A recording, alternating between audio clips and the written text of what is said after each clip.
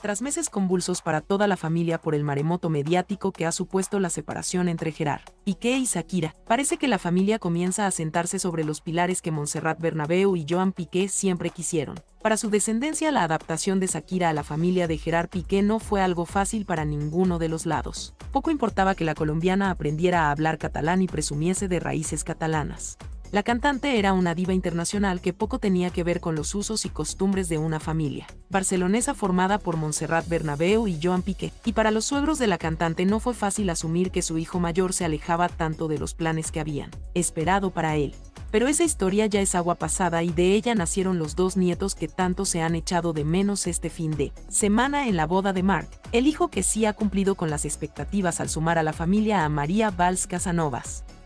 una mujer anónima, discreta y con un origen acorde a lo que la familia Piqué quería para los suyos. De la cuñada de Gerard Piqué se sabe que está a punto de cumplir 32 años, que se ha formado en la Universidad Privada Ramón Llull y que pertenece a una familia de clase media alta de Barcelona, bien posicionada y también bien relacionada.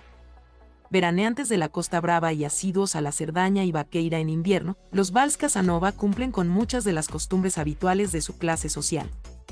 Clases sociales, raíces y preferencias aparte, María Valls es, desde este fin de semana, una más en el clan Piqué.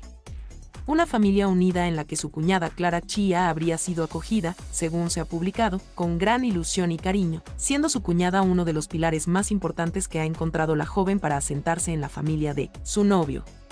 con un origen similar a la bien querida María y campanas de boda sonando alrededor de ella y Gerard, parece que Montserrat y Joan están, ahora sí, cerca de cumplir el sueño que, como padres, habían tenido para sus dos hijos.